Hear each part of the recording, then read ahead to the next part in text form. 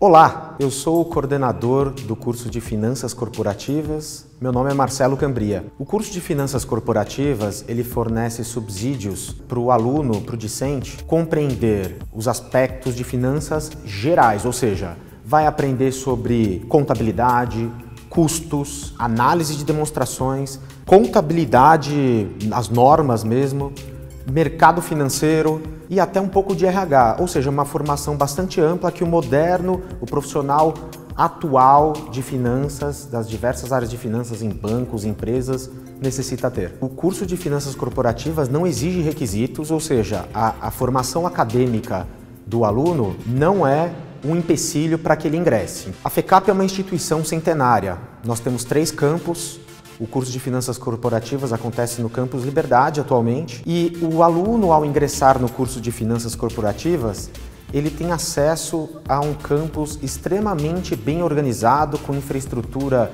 de laboratórios, aulas em laboratórios, inclusive, bibliotecas, lanchonete.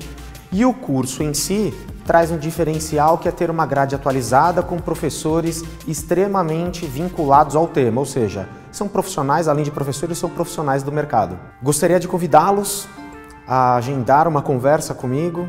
Eu vou poder esclarecer dúvidas mais pontuais, né? E para conversar comigo, basta escrever para o meu e-mail e aí a gente consegue bater um papo, tomar um café e consigo explicar os diferenciais do curso e um pouco mais de detalhes técnicos que vocês almejam, tá certo?